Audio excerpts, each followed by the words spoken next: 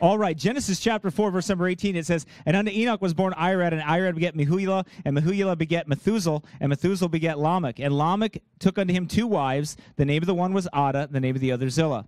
And Adah bare Jabal. He was the father of such as dwell in tents, and of such as have cattle. So we see here, here's a man that was like a master of cattle, of understanding a farmer, and, and understanding how to raise cattle and everything else. He, he was a man that was very, these are not men that were learning this technique. These were men that had it mastered. I want you to understand that. There's a difference today. We, in our mindset, what we have is we have this mindset that everybody started out and they all had to learn these things and they were, no, they're not like us. Okay, let me put it this way. I want to try to change your thinking because Satan has twisted your thinking around. Here's what Satan has made all of us think Satan has made all of us think is that they were cavemen and we're the smart men. And I want to reverse it. I want to say, no, we're more like the knuckle dragon cavemen, and they were advanced intelligence and advanced beings in an advanced civilization. That's the understanding. Of course, we're not cavemen. We're made in God's image and all that. But the point is, is that we are getting dumber. They are getting smarter. Now, I also have a theory which I believe lines up with the scriptures. And that is this that we will not attain to the knowledge that they had or the advanced civilization. We have attained to a portion of that and are heading to an even more portion, uh, a greater portion of that when we get into the singularity. When the singularity is met and you get to that point, you're going to merge man with the machine and with the ghost in the machine, which is Satan, and then online, and then you become online where facts and everything with a chip in the forehead or in the right arm is going to make you like a god. Okay? They're already working it. They're already doing it now. It's already happening now. We cannot attain to what they had because of the environment. We're going to talk about that in another another um, sermon or another another message where we'll deal with the environment. Because it's important to understand that their environment was way different than ours. And their intelligence was because of their partly because of their environment and partly because we're a copy of a copy of a copy of a copy of a copy of a lot of copies. Okay, and what were they? The original. Adam was the original, right? And Adam was a son of God, right? God made Adam in his likeness after his own image. So Adam was a perfect copy. Adam's understanding intelligence. Remember when i showed you and we'll talk about that in advanced civilization but remember when i showed you that that adam named all the animals what the bible says about adam named all the, well how did he know how to do that? Because of the mind god gave him. That's how he was perfect. He had an advanced mind. And these people had an advanced mind. They were not like us. And that's important to understand because it destroys evolution. That's why it, that's why these things no pun intended are buried Okay? There's a reason the things that I'm going to show you have been buried. So today my goal is to kind of unearth them and to bring them up to you and to bring about like just a normal a knowledge of some of these artifacts that have been found that give you an understanding of what happened in this old world. But uh, anyway, so and his brother's name was Jubal, and he was the father of all such as handle the harp and the organ. As handle the harp and the organ. This man was a master musician. See, you don't you you don't today we have to work our way up and practice and to learn these things. These men already had that intelligence. God had placed them in them, placed it in them. They were advanced. Their world was advanced. More so than what we can really fathom. These are not popular things to talk about with most people because they don't want to believe this because they've been sold on evolution so long that everybody in the past were just a bunch of knuckle dragon apes and that's all they were and they were just dumb and we're evolving, we're getting better. No, we're not getting better. Right. It's just we're getting worse. All right. So, and Zillah, she also bare Tubal Cain, an instructor of every artificer and brass and iron, and the sister of Tubal-Cain was Naamah. Now, what does it say here? It says she bare Tubal-Cain. Does anybody know which? Does anybody know which uh, mystery religion holds up Tubal-Cain as a very central figure? Freemasonry. Freemasonry does. Why is that? Because he was a master. He was a master of metal. Yeah, why do you know that? You have the handshake now. Anyway, better not. I don't want to go there. I don't want to go there. Never mind. Um, anyway, sorry. that that that's one of those things that has to be buried, but but uh, it just comes up once in a while. Hard to. It just it segued really well. Anyway, uh, but Tubal Cain, an instructor of every artificer in brass and iron. This was a master instructor of brass and iron. He not only was good at it, he was a master at it, and he taught others. He would have been a master of his art. And then you understand the line of who these men came from. Who were these men? Of. Yes. Many of them were evil men. Much this, this proves a lot. It proves that much of technology came from evil people. And when you study anything to do with modern technology, you find out that well, I'm going to show you today that modern technology may not be so modern. It may be ancient technology. All right, and uh, okay, so and Zil, so Tubal Cain, he was a master of that, and it shows like who these people were and what they were a part of and how they were. Um, you know, the Masons have a symbol for Tubal Cain, and we won't get into that, but you know that's what they have. Anyway, let's pray. Father, Lord, we pray you be with us now. Help us, Lord, as we look through your Word. Help us as we look through these things, look through the earth, Lord, as we found these examples everywhere. And Lord, I pray that the message would just get across and that uh, we would understand that these things have been found for a reason, for your glory, to prove that, to back up, and even though we believe it by faith, Lord, but to prove that you left a record somewhere in this earth of what you did. In Jesus' name we pray. Amen. All right. Look at this hammer. You say, well, that's not very that, that's not very impressive. Well, actually it is very impressive when you figure out where it came from. This this hammer is a very very old hammer that was found. And I'll kind of read you where it was found. In June of 1934, members of the Hahn family discovered a chunk of limestone rock with wood protruding from it. They chiseled it open, exposing a fascinating hammerhead. A small portion of the hammer was fled down, filed down, excuse me, to confirm that it was, in fact, metal. Over the decades, this cut has remained shiny and has not rusted. Well, how is that? How did these people know how to use this this material? How were they able to do this this old and it didn't rust through? Because they knew what they were doing. Didn't they? Over the decades, this cut has remained shiny and has not rusted. The artifact was found near London, Texas, by a waterfall on Red Creek. This site is part of a large geographical zone called the Edwards Plateau, and it, it and it primarily consists of Cretaceous, Cretaceous rock. Several miles upstream, masses of shell fossils are found that match the fossils in this in this uh, concretion. This is the odd. What is this odd little hammer? What is it? The hammer, which has become known as the London artifact, is now part of the collection of Creation Evidence Museum, where it has been extensively analyzed. The handle the handle has a blackened a coalified tip. The head is made out of a rare iron mixture with chlorine. So they were mixing metals and they knew how to use different things with that. These where, when did this come from? Many scientists have expressed skepticism since the artifact was not found by a professional. See, that's what they do. But what we found is if you call the professionals in, that artifact disappears. It's like the bones of, of giants. Everybody calls, well, hey, I think I'll call the Smithsonian. Then they call the Smithsonian, all of a sudden, all of a sudden, it's like Jimmy Hoffa, it's gone. You don't see it ever again. Right? Buried with the fishes, I guess. Right. Many scientists have expressed skepticism, but the composition, chlorine fabricated with metallic iron, remains a puzzling enigma. We know that iron was a metal that was in production in the pre flood economy. We just read that. The extraordinary resistance to corrosion, even in the Texas humidity, points towards specialized metallurgy.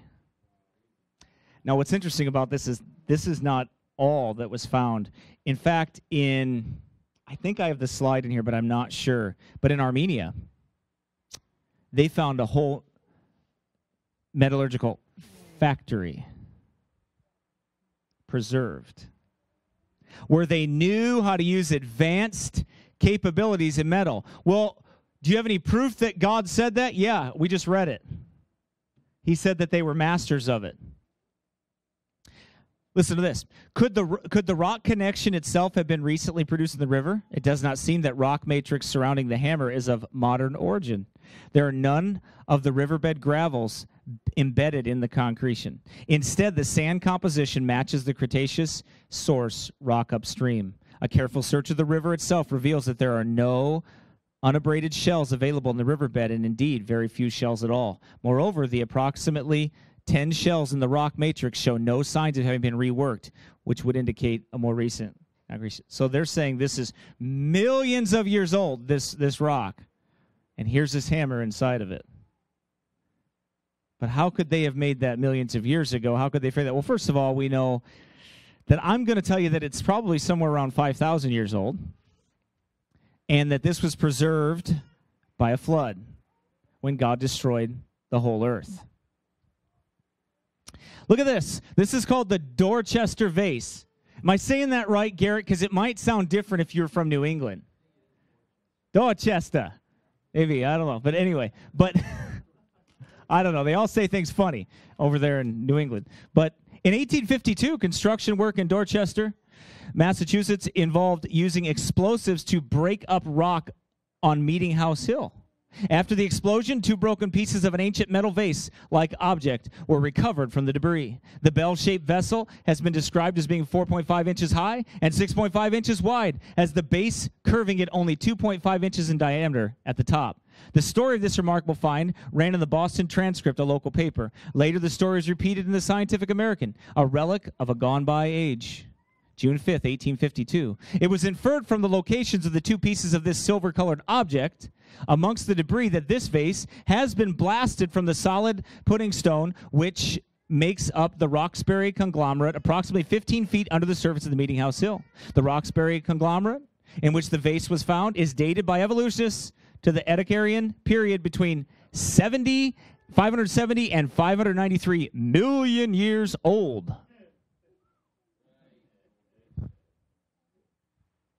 Now, I want you to notice something about this, though. Look at how well that was made. The detail of that. This is not somebody that was like, okay, I think I'll practice on this. No, this is somebody that understood quite well how to make things and was very, very, very good at it. And what is my explanation? Well, about 5,000 years ago or so, there was a flood that destroyed all their. Is it 4,000 or 5,000? I get that number wrong. I think it's about 40. What's about about four? Is it about four four thousand years ago? There was a flood that destroyed the whole earth and buried this world, this advanced world.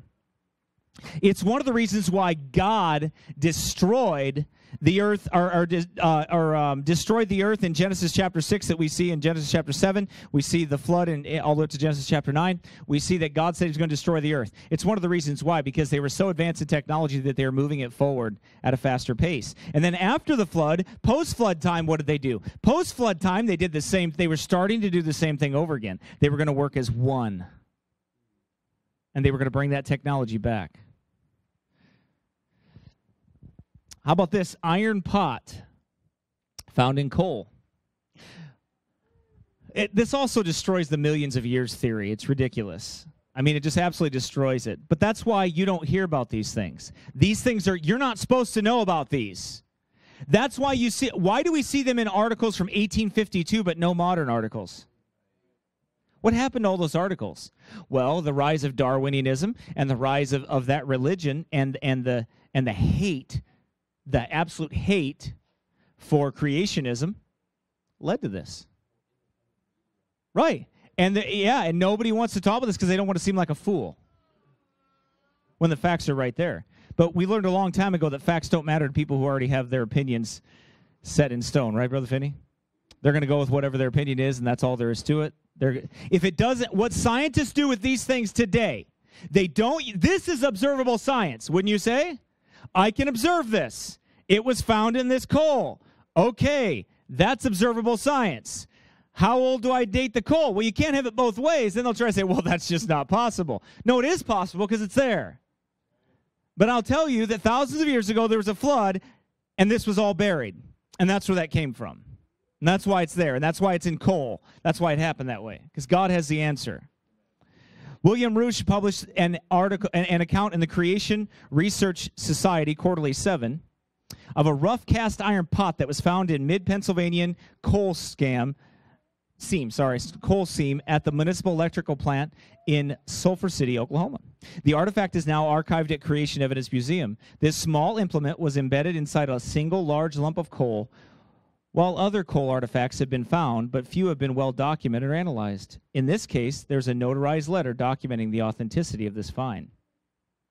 He says this He says, While I was working in the municipal electrical plant in Thomas, Oklahoma in 1912, I came upon a solid chunk, chunk of coal, which was too large to use. I broke it with a sledgehammer. This iron pot fell from the center, leaving the impression or mold of the pot in a piece of coal. Jim Stoll, an employee of the company, witnessed the breaking of the coal and saw the, the, the pot fall out. I traced the source of the coal and found that it came from Wilburton, Oklahoma mines. Interesting. There it is. That doesn't look like somebody didn't know what they were doing. That looks like somebody knew exactly what they were doing. They weren't practicing in, in school. I think they had it figured out. Wouldn't you say? Pretty good. You you could see and how old it is, and the coal perfectly preserved it. Interesting. Here's his letter. I mean, he wanted a sworn affidavit that he that he that he had it. They had it right. Now, uh, uh, an interesting thing. A lot of things have been found in coal. A ton of things have been found in coal. As we as we read the as we go through history, uh, in Peoria, Illinois, there were coins that they broke open the coal and they found a coin and the Madonna, Isis, Horus, Set. You know, um, that mother son worship was in that coin. Like, how'd that get to Peoria? Why was that stuck in a lump of coal? Another thing, a boy was was doing what he normally did. They, you know, they took the coal and they heated their house with it. They scoop it up, boom, chunk falls on the ground. Out comes this gold necklace. I didn't know apes had gold necklaces, and made them with that with such precision.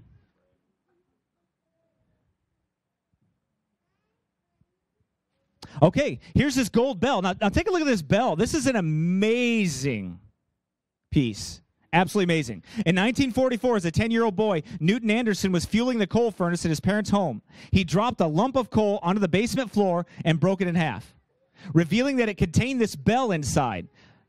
The bituminous coal that was mined near his house in Upshur County, West Virginia, is supposed to be about 300 million years old. See, they can't have it both ways. They'll be like, well, no, you know, it didn't really come from that. It probably came from something else, and blah, blah, blah. Why? What's this kid go? Why would this kid make up this story? Oh, I just busted a piece of coal, and out come this bell. He doesn't know how old the coal is. He doesn't know where it came from. He doesn't know anything about any of that stuff. What is what is a brass bell with an iron clapper doing in coal ascribed to the Carboniferous period?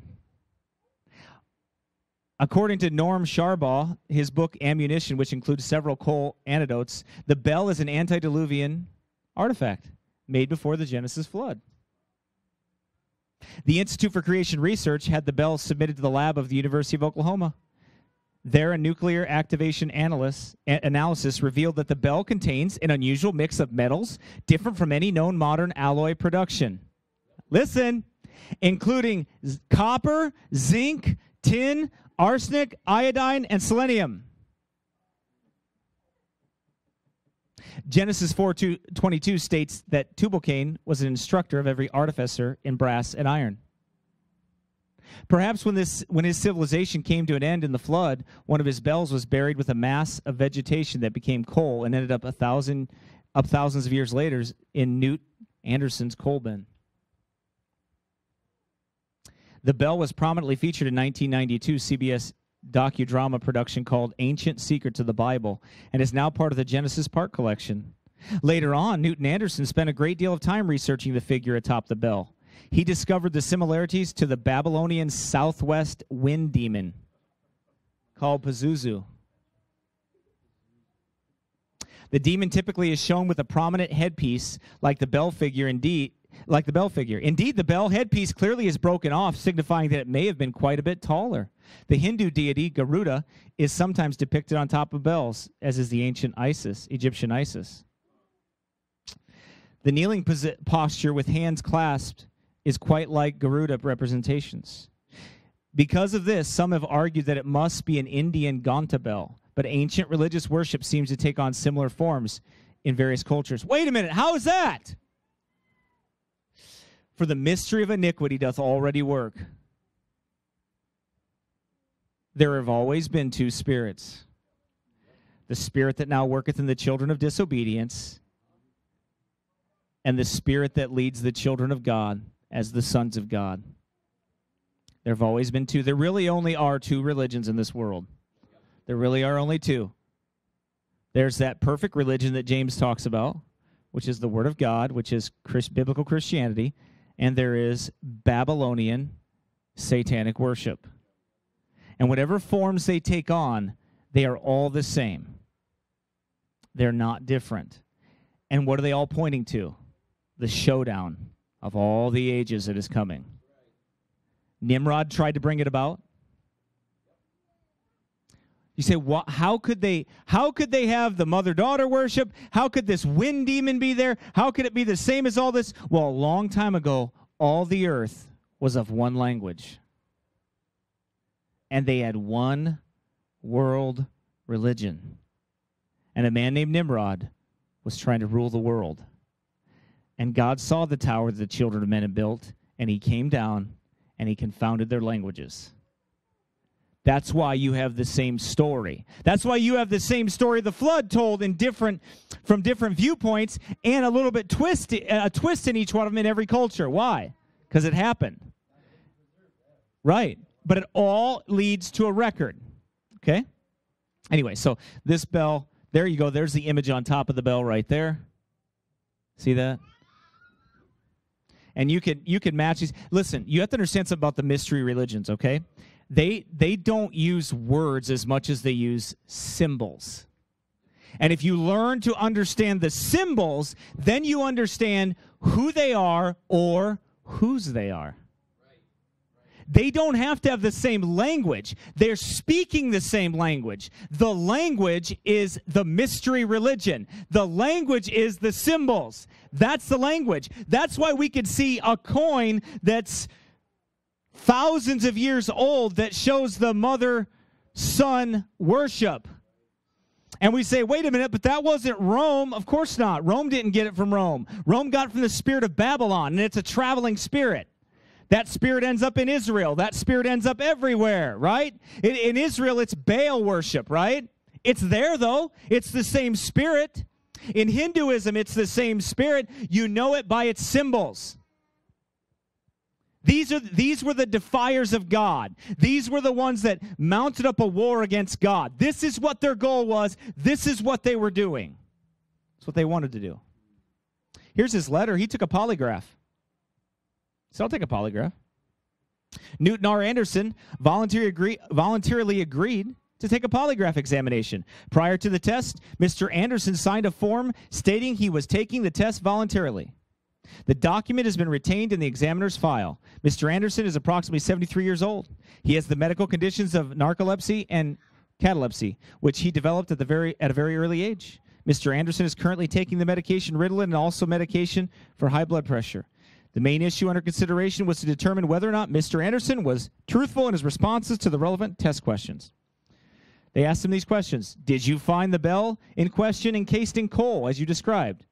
His response Yes. Is the bell you sold to David Woetzel the identical one you found in coal? Yes. Did you give false information as to how you found the bell in question? No.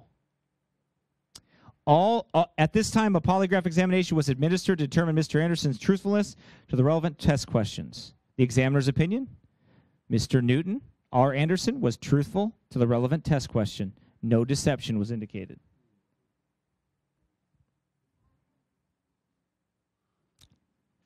This is called an Iraqi battery. That's what they call it nowadays, okay? This was actually a battery that they found. Now, this is a, a, diagram, but I'll show you the actual battery in a second. But this is how this battery breaks down. This is an ancient battery. They knew how to use it. Look how they put it together. And it worked.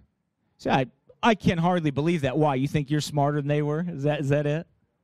Is that, is that why?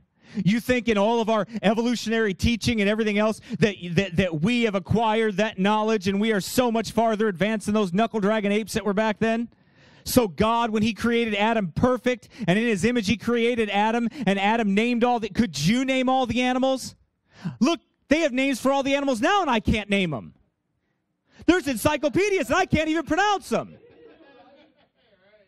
You bring all these animals, I'll be like, what is this? I don't know what it is. But everything Adam was brought to Adam, and Adam and God saw what he would name him, and God just, oh, I'm going to watch him name all these. God knew what he was going to name. God knows everything. But God let Adam do it. Why? Because Adam was to have dominion over them. Adam named them. Think about that. So is it a far stretch that they could make a battery? Looks like they knew what they were doing, doesn't it? There it is. Yes, they did. We'll get to that. You be quiet, Aaron. No more talking. Mute him out, please. But look at this. You say, I, I can't believe that. Well, you've got a probably a 4,000 year old battery there, 3,000 year old battery there. Can you see it okay, brother? Okay.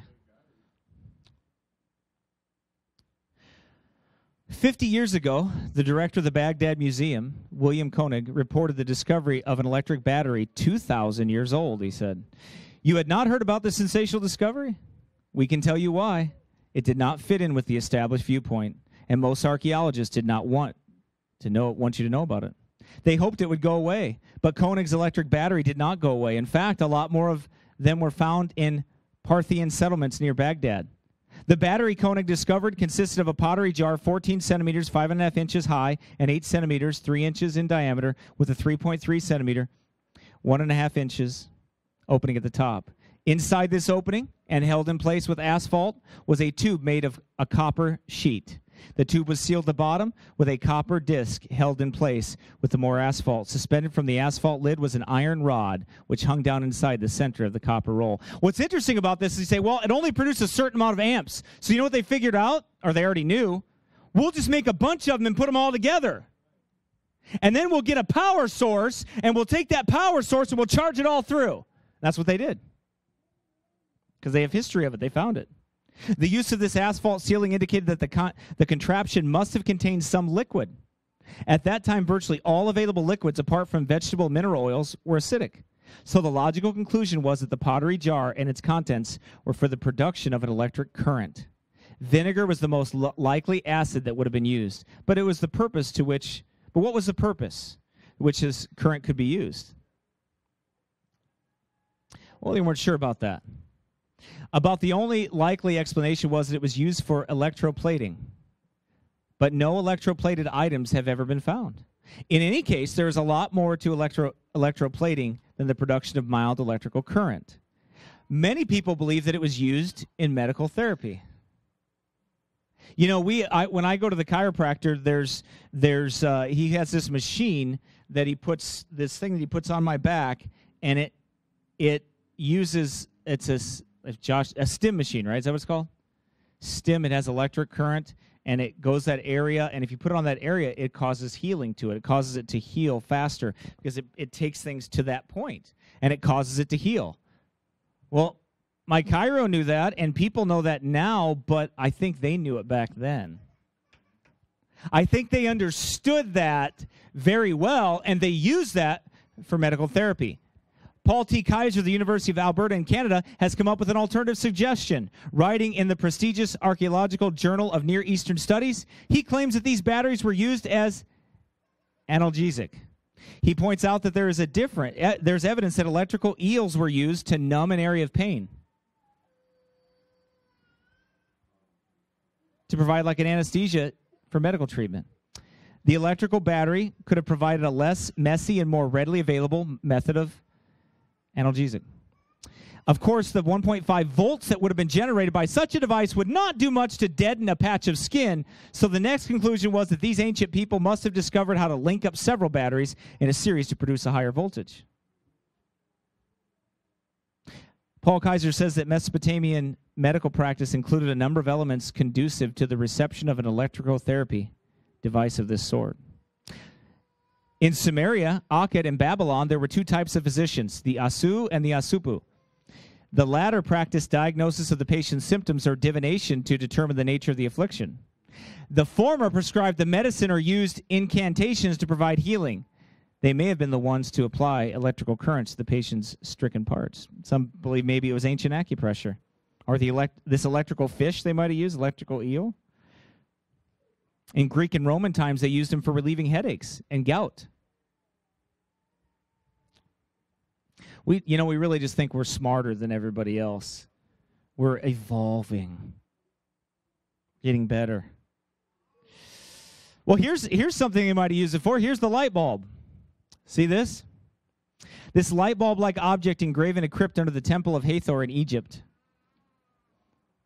Now, why did they put this on the wall there? You can see it has a cord and everything, and it goes. Well, why would they put that there? You know, how come we how come we are so apt to believe what evolutionists and doctors and everybody say, but we don't really want to believe the word of God when we see observable science here that hey, these guys were drawing something about what they knew.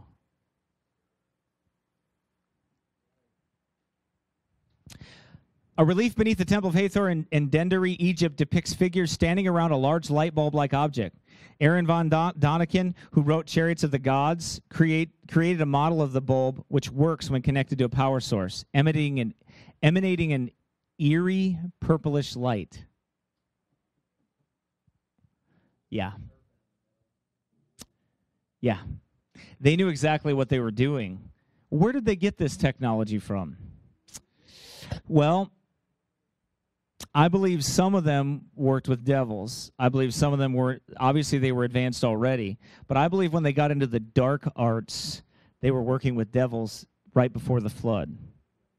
And after the flood, after the flood, I believe they went into walls like this and found the spells, the incantations, the astrology, everything they needed to try to reproduce it. The only problem was the environment was different when they got off the boat and God then confounded their languages to destroy that mystery. So, what did they do? Well, I believe what they did was write in symbols because they could not read each other's language. So, they took the symbols and they wrote the symbols. And they all knew what the symbols meant. And then generations later, we don't know what the symbols meant. We had to learn what they meant. But they already knew. It's like this we had to figure out what this is. They already knew what it was.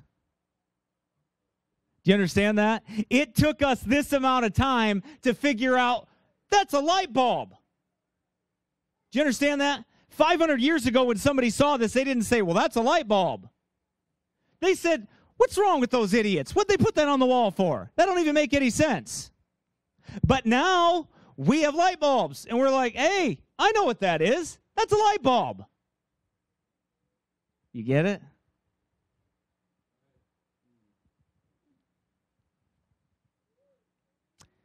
This is a site of a nuclear reactor. This is an ancient site. They found this digging around. In, in 1972, a French factory imported uranium ore from Oklahoma in Africa's Gabon Republic. The uranium had already been extracted. Wait a minute, they're extracting uranium? They found the site of origin to have apparently functioned as a large scale nuclear reactor that came into being 1.8 billion years ago and was in operation for some 500,000 years. Well, yeah. So, what do you think, preacher? Well, I think at the time of the flood, I think that's what they were doing. You see, I want you to go to Genesis chapter 6. You and I think with our Western civilized mind, or uncivilized, whichever you want to say, and we don't really think biblically. If you think biblically and you read this, you know that God said, These people are evil, and I'm going to destroy them. Because their capabilities are awful. what they can do. They had demonic ability plus the they were using the environment. They were using their superior intellect, their superior si- size, the help of devils. They were fallen angels, they giants. We're not going to get into them today, but we're going to talk about them again. Ready? And it came to pass when men began to multiply on the face of the earth, and daughters were born unto them, the sons of God saw the daughters of men that they were fair, and they took them wives of all which they chose. And the Lord said, My spirit shall not always strive with man, for that he also is flesh, yet his days shall be a hundred and twenty years. There were giants in the earth in those days, and also after that. When the sons of God came in unto the daughters of men, and they bare children of them, the same became mighty men which were of old, men of renown these mighty men. Not just mighty in stature, mighty in intellect, mighty in their deeds. What does the Bible say about Nimrod? He was a mighty hunter before the Lord. That word mighty means Gabor. That's the word Gabor. It means giant.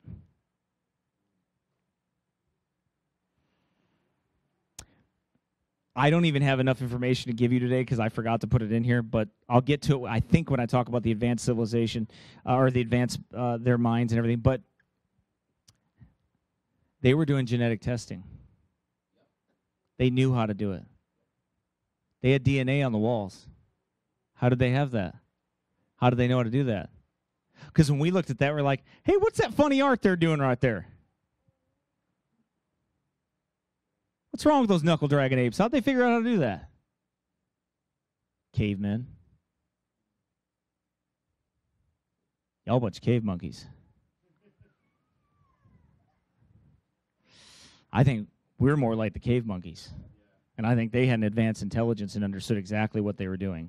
Because it took us thousands of years to figure out hey, that was a light bulb. Hey, they're mining uranium. Okay, Dr. Glenn T. Oh, let me let me finish. I'm sorry. There were giants in the earth in those days. We read that, and God saw that the wickedness of man was great in the earth. Well, the wickedness of man is great in the earth now, isn't it? Not to the level as it was there. Not to that level. And that every every look, every imagination of the thoughts of his heart was only evil continually. Friend, if God let you live out your imagination, oh, would it be a bad world? Do you understand? They were living out with the capabilities to live out their imagination, and they were doing it. And they weren't using it for good, they were using it for evil. Dr. Glenn T. Seaborg former head of the United States Atomic Energy Commission and Nobel Prize winner for his work in synthesis of heavy elements, explained why he believes it wasn't a natural it was not a natural phenomenon, and thus must be a man-made nuclear reactor. For uranium to burn in a reaction, very precise conditions are needed. Now look at this. The water must be extremely pure for one. Much purer than exists naturally. The material U-235 is necessary for nuclear fission to occur. It is one of the isotopes found naturally in uranium. Several specialists in reactor engineering have said they believe the uranium in Oklahoma could not have been rich enough in U-235 for a reaction to take place naturally, which means they purified the water, they had pure water, they took it there, and they mined it. They knew what they were doing. Well, how could that be? Well, there was an advanced civilization, and every imagination of their heart was only evil continually. And God said, I will destroy man from off the face of the earth. And he destroyed him, and he buried that world. Hey, look at this. This is a portion of the Piri Piri Reis map of 1513. There's something very interesting about this map. What is it? I'll show you. A map created by Turkish Admiral cartographer Piri Reis in 1513, but sourced from various early maps. This is how we understand that these people, where'd this guy get this map? He got it from another map. But what's so unique about it? is thought by some to depict Antarctica as it was in, in a very remo- remote age before it was covered with ice. He had a map of a map. A landmass is shown to jut out from the southern coastline of South America. Captain Lorenzo W. W. Burroughs, a U.S. Air Force captain in the cartograph section, wrote a letter to Dr. Charles Hapgood in 1961 saying that this landmass seems to accurately show Antarctica's coast as it is under the ice. Dr. Hapgood was one of the first to publicly suggest that Piri Reis may depict Antarctica during a prehistoric time. He was a Harvard educated historian whose theories about geological shifts earned the admiration of Albert Einstein. He hypothesized that the land masses shifted, explaining why Antarctica is shown as connected to South America. Now, there's a theory about that, and there's Bible for it that says this that in the days of Peleg, God divided the earth. Some say, well, that was the languages. I don't think so. He already said he divided those. He confounded their languages. This is the earth. I believe he divided. Now, what happened? I believe when he divided this earth, follow me now, when he divided it, it further buried that world and their technology after the flood. I believe that's what happened. The landmass shifted. I believe that. There's some people that would dispute that, but I, I don't think I, I think it's very plainly stated in the Bible that he divided the earth in those days. Well, with their yeah, with their language barrier done, they were all speaking Greek, right? So they didn't know what they were saying. Right. But God they had to spread out, they had to leave each other. They couldn't stay. Because there was nothing I mean they couldn't communicate with each other. So those that could communicate with each other, they left and went with and they migrated to different areas. But when God divided the earth, guess what happened? It shows Antarctica in prehistoric times.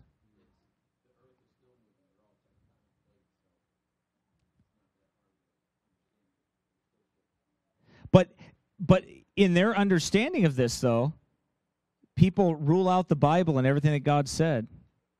Why? Because they don't want it to be true. Because if there's a God in heaven, then I have to submit to him. All right, how about ancient computers? Look at this. What in the world is that?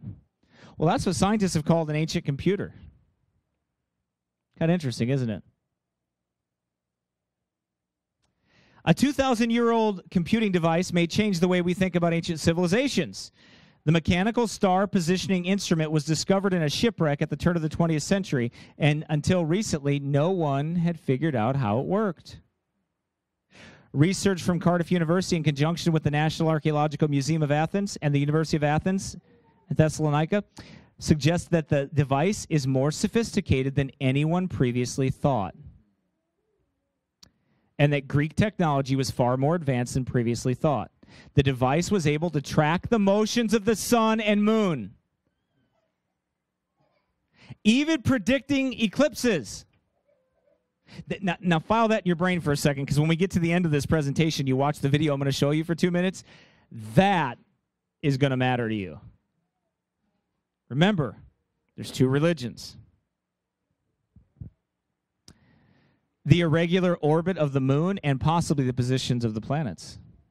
The wood and bronze device was named the Antikythera mechanism after the Aegean island near where it was discovered. The researchers recreated 70 pieces, including 30 gears, some of which are differential gears, a concept that was not rediscovered until modern times. So wait a minute, they knew how to use differential gears and it took us all this time and then we like we we figured it out? Yeah. So much for our superiority, right? It, it makes you believe that, you know what? God did tell us that he made Adam upright. But man has sought out many evil inventions. The wood bronze device, he said at 70, okay, at 70, re- recreating the device was difficult and painstaking. Why? Should be easy. I mean, it was, after all, it's just a bunch of dummies that made it. How could it be that hard? Right? Involving the expertise of, look at this, look, Look what he says involving the expertise of astronomers, mathematicians, computer specialists, script analysts, and conservation experts. Whoa. Really? All those people to come together to make this little device? And some guy just made it.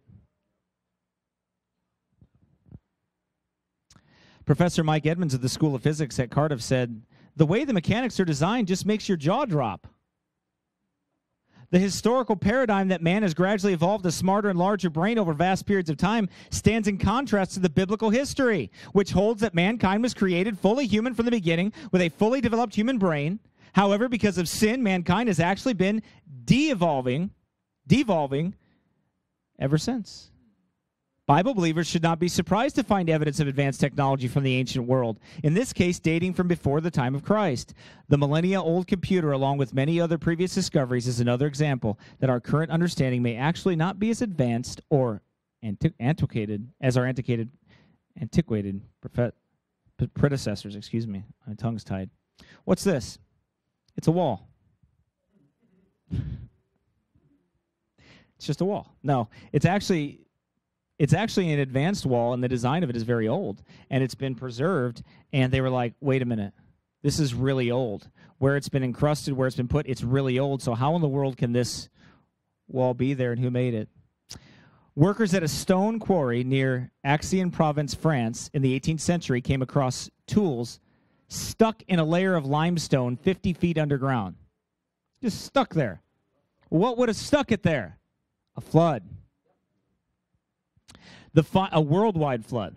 The find was recorded in the American Journal of Science and Arts in 1820 by T.D. Porter, who was translating Count Bournon's work, Mineralogy.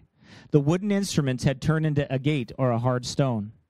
Porter wrote this Everything tended to prove that this work had been executed upon the spot where the traces existed. The presence of man had then preceded the formation of this stone that the very consider- that very considerably he was already arrived at such a degree of civilization that the arts were known to him and that he wrought the stone and formed columns out of it. That's not supposed to happen according to evolution. As stated in the case of the hammer above, the limestone has been known to form relatively quickly around modern tools. What's this? Well, that's a spark plug on the one side. That's a spark plug, and so is that. Those are both spark plugs. These are our spark plugs. That was their spark plugs. It's called the COSO artifact. Creationists have often been criticized for failing to present. Now, this is not by a Christian, by the way, but I want to read you this because he tell he actually tells mostly the truth here. Creationists have often been criticized for failing to present original research and evidence that would overthrow our contemporary scientific view of human origins. However, this is not entirely fair. The creation science field known as OOPArts or out of place artifacts is a lively area of study that relies on anomalous finds in the archaeological record to challenge scientific chronologies and modes of human evolution. In this paper, we will examine one of them. So, the story of the Coso artifact the Coso artifact, has been embellished over the years, he says, but nearly all accounts of the actual discovery are basically the same. See how they double talk? Hear the hiss of a serpent? Listen, you can hear it. On February 13, 1961, Wallace Lane, Virginia Maxey, and Mike Mikesell were seeking interesting mineral specimens, particularly geodes, for their LM and V Rockhounds Gem and Gift Shop in California. The trio was about six miles northwest of Olancha, near the top of a peak about 4,300 feet in elevation and about 350 feet above the dry bed of Owens Lake. At lunchtime, after collecting rocks most of the morning, all three placed their specimens in the rock sack Mikesell was carrying.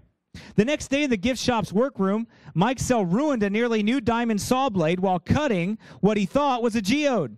Inside the cut nodule, Mikesell did not find the cavity that is typical of geodes, but a perfectly circular section of a very hard, white material that appeared to be porcelain. In the center of the porcelain cylinder was a two millimeter shaft of bright metal. The metal shaft responded to a magnet. Uh oh. There were either odd, there were other odd qual- qualities about the specimen. The outer layer of the specimen was encrusted with fossil shells and their fragments. In addition to shells, the discoverers noticed two non magnetic metallic objects in the crust resembling a nail and a washer. Stranger still, the inner layer was a hexagonal and seemed to form a casing around the hard porcelain cylinder. Within the inner layer, a layer of decomposing copper surrounded the porcelain cylinder. What is this? It's a spark plug. That's what it is. That's what they came up with. Very little is known about the initial physical inspection of the artifact. They examined it. They said the specimen, the nodule had taken at least 500,000 years to attain its present form. You don't say. However, the identity of the first ge- geologist is still a mystery. So there are people that, and Ron Calais was a, a creationist. He observed it to have physically inspected the artifact, and he was allowed to record the images of the nodule using both X ray and natural light photography. Calais' X-rays brought interest in the artifact to a new level. The X-ray of the upper end of the object seemed to reveal some sort of tiny spring or helix. Info Journal editor Ronald J. Willis speculated that it could be the remains of a corroded piece of metal with threads. Well, what they don't want to say is this is what it looks like. Okay, this is this is breaking it, the image down. This is what it looks like. They don't want to say that's a spark plug because, of course, those knuckle dragon apes couldn't have figured out how to do that. They hadn't attained our knowledge yet. So there's no way they could have had a spark plug. Oh, no, I think they understood it very well. You know, I, I think they understood it very well. They understood what that was and how to use it because they made it that way. That didn't just form in in that limestone. That didn't just form that way in that geode, all right? It doesn't form that way and then oh, the copper came together and it got legs and it walked up and then the other piece walked up and then the porcelain they all got together and just froze there. Yeah. You kiss the frog and it turns to a prince or whatever, something I don't know. That doesn't work that way. What happened? They made it. Somebody made it and used it. And they knew what it was for. And it took us thousands of years to figure it out. How to make a spark plug. Okay? Which should show you that we're not that bright. And give us a dependence upon God Almighty and not our own intellect. All right, this is, uh, I don't know why I put this out of place, and I'm sorry. It says out of place artifacts, and this slide is out of place, so it goes along with it. All right, and if you if you want a mixer, there's one right there. Free advertisement for a mixer. Right there. That one's kind of high. Man, Aaron's got one cheaper than that if anybody wants one. I think he sold his already. I don't know. Anyway. Anyway, uh, Bahama. Okay, archaeologist William Donato was conduct has conducted multiple dives. Okay, so this man, I'm going to show you a picture of this in a minute here. I'm sorry it's out of place, but there was a dive that took place, a few of them, and he went down and he, do- he dove down off the coast here of the Bahamas. And what did he find? He found a structure some 12,000 to 19,000 years old, built to protect a prehistoric settlement from waves. Hmm. He found it to be a multi tiered structure, including prop stones that appear to be placed there by human hands. Well, duh. What'd you think? Monkeys put it there? Man, for being smart, they're kind of dumb. He also, yeah, crabs did. He also found what he believes to be anchor stones with rope holes in them. Yeah, they probably knew how to use anchor stones. I'm sure they sailed and everything. So, yeah, that makes sense.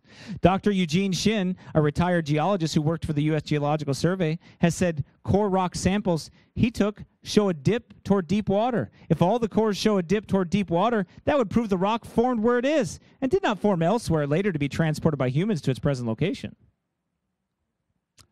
What is he doing? Speaking out of both sides of his mouth, basically. That's what he does. What happened?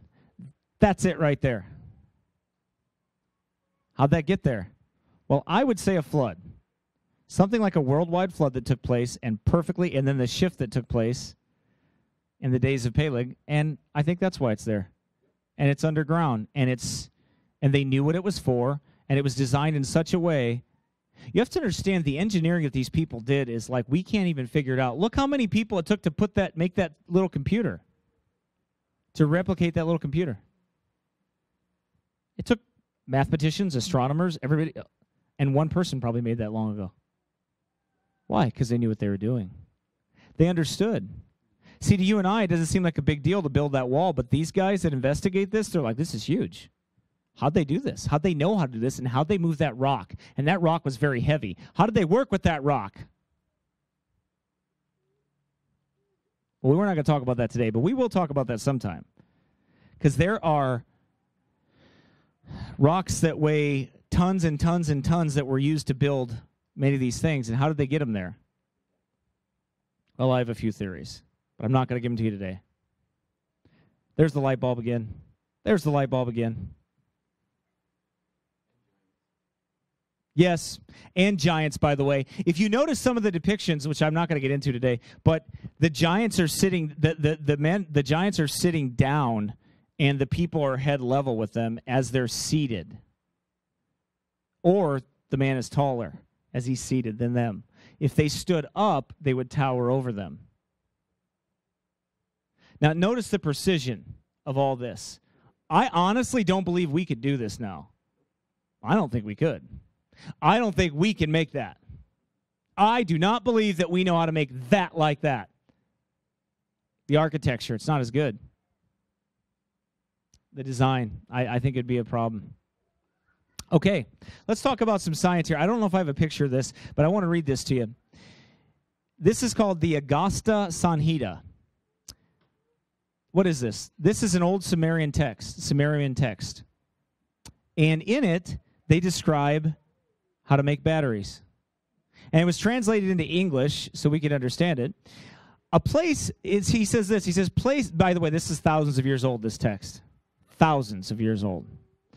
Place a well cleansed copper plate in an earth, earth, earthenware vessel. Cover it first by copper sulfate and then by moist sawdust. After that, put a mercury, mercury amalgamated zinc sheet on top of the sawdust to avoid polarization. The contact will produce an energy known by the twin name of Mitra Varuna. Note, when a cell was prepared according to the Agastya Samhita and measured, it gives open circuit voltage of 1.138 volts and short circuit current as 23 MA. I don't know what that means. Thank you. Good thing we have an electrician here today. Water can be split into oxygen and hydrogen. Water will be split by this current into pran vayu, oxygen, and udon vayu, hydrogen. A chain of 100 jars is said to give a very effective force. How did these guys know how to do that? Why were they using it? What were they using it for? The Udian Vayu hydrogen thus created can be trapped into an airtight object. If this is achieved, it is possible to build a structure capable of flying in air. Now, I did not get, well, maybe I did get this in there. Let me see. Did I get it in there? Nope, that's it. Okay, this is uh, this is what they created, by the way. Formula for electric battery in Agastya Samhita, ancient Indian text. Zinc powder, wet sawdust, copper plate, earthen pot, Boom. There you go. Seems like they knew what they were doing. This is him again. This is now by the way, we all know these guys are occultists. All right? Hindus, they're cultic. The stuff they believe. They they talk about the chakra, the aura. I mean, all of it. We're not going to get into that, but that's what they talk about. Let's talk about airplanes. Now, there are many, and I'll talk about this probably in a separate one. There are many, many, many, many examples in history and stories of people flying. Many. Many. Now, do you believe that? Do you believe that those people, possibly in that pre flood world, knew what they were doing and were able to put something together? Well, they designed this The object, the object shown in the sketch was found in 1898 in a tomb of Saqqara, Egypt, and was later dated as having been created near 200 BCE. As airplanes were known unknown in the days when it was found, it was thrown into a box marked wooden bird model and then stored in the basement of a Cairo museum. It was rediscovered by Dr. Khalil who studied models made by ancients. The discovery was considered so important by the Egyptian government that a special committee of leading scientists was established to study the object. As a result of their findings, a special exhibit was set up in the center hall of Cairo Museum with a little model as its centerpiece. It was even labeled as a model airplane. To elucidate the reason of the decision of the committee, almost unprecedented in the field of archaeology, let's consider some of the aspects of the model. The model has the exact proportions of a very advanced form of a pusher glider that is still having some bugs ironed out. The type of glider will stay in the air almost by itself. Even a very small engine will keep it going at low speeds as low as 45 to 65 miles per hour. While it can carry an enormous payload, the ability is dependent on the curious shape of wings and their proportions. The tipping of the wings downward, a reverse dihedral wing, as it is called, is the feature behind the capability. A similar type of curving wings are implemented on the Concordia airplane, giving the airplane a maximum life lift, excuse me, without detracting from its speed. So over 2,000 years old. By the way, there's older ones than this that they found, but this is this is perfectly preserved, and it's from the they say from the pre-Columbian Columbian airplane models. Is the concept of the airplane limited to Egypt? That doesn't seem to be the case. Gold trinkets were found in an area covering Central America and coastal areas of South America, estimated to belong to a period between 500 and 800 CE. But since they are made from gold, accurate dating is impossible. And based essentially on straight strateg- str- stratigraphy, which may be deceptive. However, we could safely say these gold objects are more than a thousand years old. Well, they don't want to tell you the truth. They're more than 4,000 years old, and they were around before the flood and they were probably using they, these were a model but i believe they were using planes the chinese write about people flying over in their ancient ancient documents others the sumerians i believe and others they write about ancient aircrafts that were flying over they they, they write in their history about these men came flying in defeated them destroyed their armies and flew back and left yeah Do you believe that could be possible? I believe so. I believe it's possible. There's another picture of it. Look at the precision on that. Now, Dan, you make stuff with wood and other things like that. Look at that. That's pretty impressive, isn't it? Man. For Knuckle Dragon Apes, they knew what they were doing. Now, this is the last thing, and this is very interesting. Jacob, my Irish friend over here.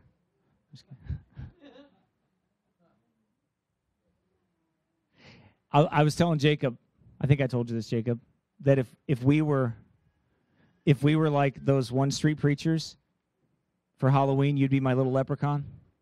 I'd have you at the end of the gold, the gold, the you know the pot of gold, the end of the rainbow. And then we, yeah, we, yeah, we just. I was like Ruben Israel and those guys. No, I'm just kidding.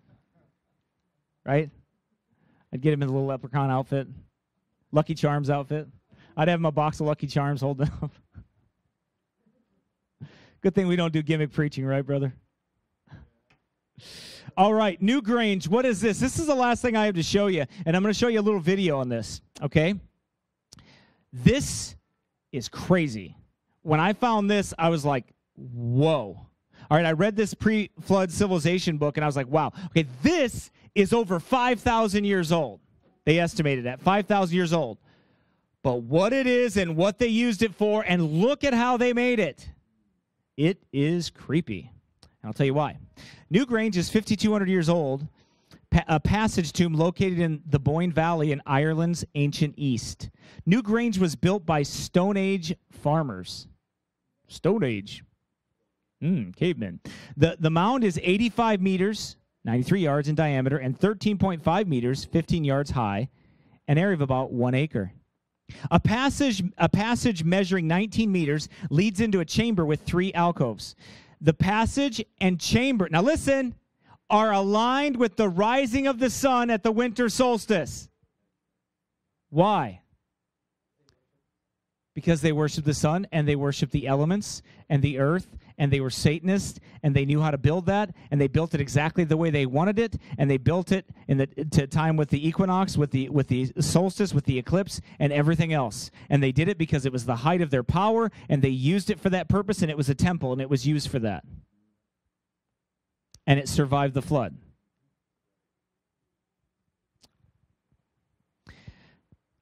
Okay. New Newgrange is surrounded by 97 large stones called curbstones, some of which are engraved with megalithic art. The most striking is the entrance stone. Access to the Newgrange Monument is via the Bruna Boyne Visitor Center. Newgrange is a Stone Age Neolithic monument in the Boyne Valley, County Meath.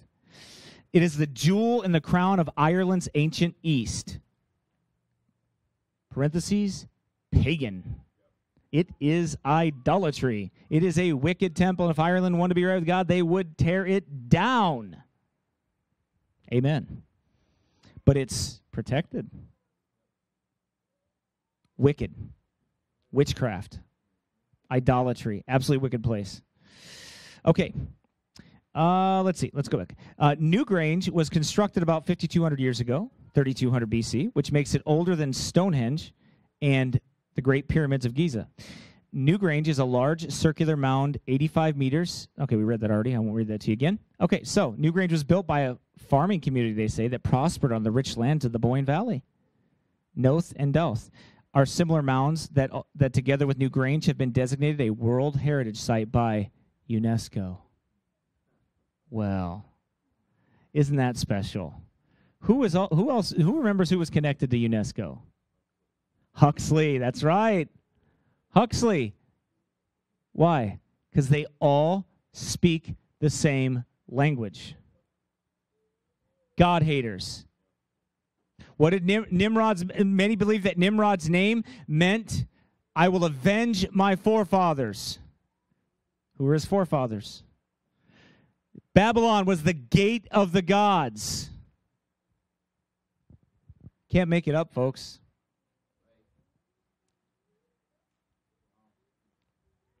Newgrange is best known for the illumination of its passage and chambers by the winter solstice sun. It's kind of weird. Above the entrance to the passage of Newgrange, there is a opening called a roof box. The baffling orifice ha- held a great surprising for those who unearthed it. Its purpose is to allow sunlight, listen, to penetrate the chamber of the shortest days of the year around December 21st, the winter solstice. At dawn from December 19th to the 23rd, a narrow beam of light penetrates the roof box and reaches the floor of the chamber, gradually extending to the rear of the chamber. As the sun rises higher, the beam widens within the chamber so that the whole room becomes dramatically illuminated. This event lasts for 17 minutes, beginning around 9 a.m. The accuracy of the Newgrange the accuracy of Newgrange as a time telling device is remarkable. Now, listen to what they say. When one considers that it was built 500 years before the Great Pyramids and more than 1,000 years before Stonehenge, you'll listen to the video that I showed you, they're like, we just can't figure out how they knew how to do that. I can. God told us. The intent of Stone Age farmers who built Newgrange was undoubtedly to mark the beginning of the new year. No, they were pagans. And they were worshiping the earth, the sun, the moon, the stars, everything that God told them not to worship, and all the host of heaven. Right? Witchcraft, the elements, Satan worship.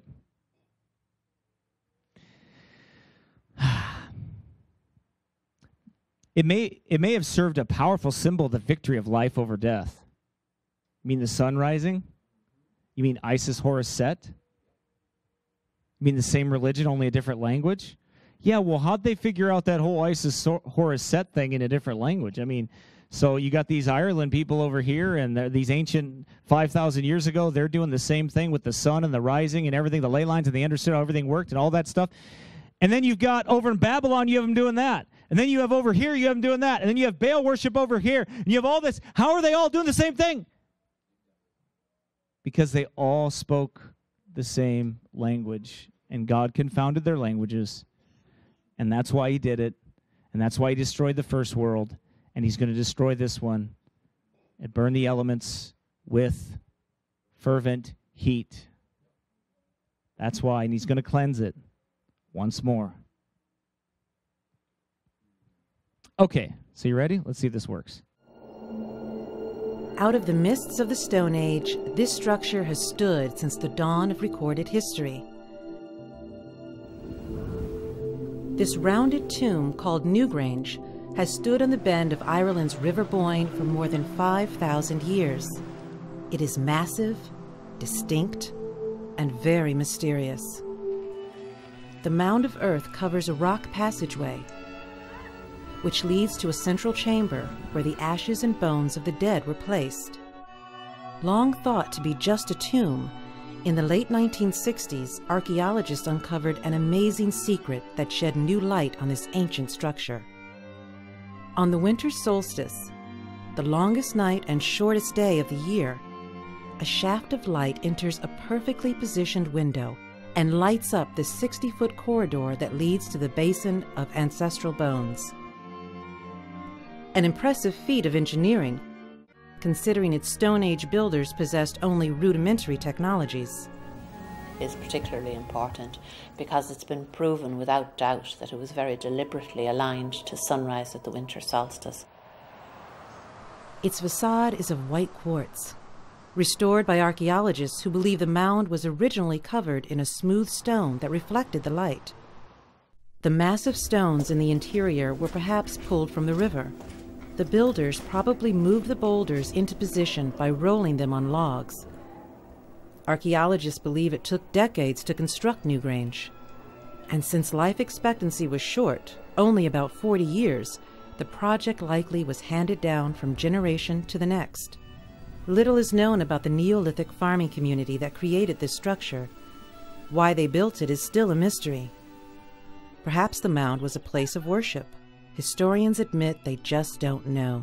We know they were used as burial places, but we also think they would have been used as places for ritual gatherings, where a focus for community gatherings, um, place to honour the ancestors. For more than 5,000 years, Newgrange has captured the rising sun of the winter solstice. It's a lasting monument to human ingenuity and to a desire as old as mankind. Even then, people strove to understand great forces of nature and to harness them, even if only for a brief moment in time. Okay, all right, good. Now, let me say this a few things here that she said. One, she said their lifespan was only 40 years. No. And they passed it down to generation. No. Men that lived 900 years built that thing. It wasn't passed down generation to generation for them, and they weren't a bunch of ankle, uh, knuckle dragging apes that were trying to figure out how to put these stones there, and they didn't roll them up on there. No, they knew exactly that the intelligence and and understanding of how to do that. They knew exactly how to do that. They knew what they were doing. Why? Because they're an advanced civilization. So no, they weren't. And she said, "Well, we don't know. We don't exactly know what it was for, or they didn't know what they were. We don't know if they knew what they were doing when they built." Of course. Well, first of all, yes, Satanists do know what they're doing. They did know by their religion and the spirit that worked in them that as the sun, the winter. You study if you just see a Wikipedia page of witchcraft, of elemental witchcraft, and all those other things, and paganism, and you will see that yes, they designed everything like that on purpose, and that didn't evolve. They had that knowledge already. What does the Bible say about it? And God saw that the wickedness of man was great in the earth, and that every imagination of the thoughts of his heart was only evil continually. They built those things. It says God made man upright, and he sought out many inventions. Many evil inventions man sought out. Listen, these people had advanced knowledge. They understood what they were doing, and that's why we find their technology. Their technology is not out of place, it's right where God buried it in the flood. It just, God just lets it pop up once in a while for us to find, to say, yep, this will throw, this will make the scientists mad. You know what that word mad means? It doesn't mean what you say. Well, I say, I'm mad at you, Brother Finney. That's not what that means. To me, to say that I'm mad, it means they go crazy. That's the That's the sign language for crazy, right? Crazy. That's my nickname for Lee, crazy. But that's the sign. Crazy. Okay? But that's they go crazy. God makes them God laughs at their derision. He throws that out there and they're all like, "Where does this come from? What are we supposed to do with this?" Well, I don't know if you just believe the Bible, you'd figure it out real quick cuz God said what he did. God said there was a world there. The, their imaginations had taken over. They had gotten crazy, they had gotten wicked. All flesh had corrupted itself before God. And God said, "I will destroy man." And he destroyed that world. Nimrod tried to do it again, and God came down. They built the tower. They built a spiritual tower as well. They put it on a certain line for a reason, which we'll talk about some other time. And God confounded their language. And what does the Bible say? They left off building the tower and the city. And they're still building it today. And it's coming. Anyway, so I hope this gives you an understanding of, of some of the things that are out there in this in this world that we have found that that agree with the Bible. And when it does agree with the Bible, we can accept it. And so far there has been no science, true observable science that has been found that disagrees with the word of God. It agrees with it completely. And you can trust your Bible. God said it. Modern scientists modern scientists cannot answer these things. They cannot answer how this happened. How how this happened how this happened and how this happened. They're like, I don't understand. Like, how did they do this? Well, we know how. Because they weren't dumb. They were an advanced civilization. And because of their sin, had reached the height. And because they were working with the devil and many other things, giants and all kinds of other things, genetic testing, which we're not going to get into today, but we will sometime. Because I'm going to prove to you from their text, they admit it. All this is out there, and it defies evolution, and that's why you don't hear about it. You won't hear scientists talk about it. It's not on NBC News. It's not going to be on Fox News because nobody wants to feel like an idiot except Bible preachers that believe the foolishness of preaching and trust God and know that the wisdom of God, the foolishness of God, is wiser than men. And God confounds the wise. Amen. Father, Lord, thank you. Thank you for all you do for us, Lord. Thank you for giving us all this information. Even, Lord, we have the Bible, and that's enough. We believe it by faith. But we thank you, Lord, that these things are out there and that you defy the haughty scientists and those that shake their fist at you, Lord, and try to bury the truth. But they cannot bury it deep enough that you cannot dig it up and show us, Lord. And we thank you for that. We thank you for the Word of God. Thank you that it's our sole authority of faith and practice, and we understand it.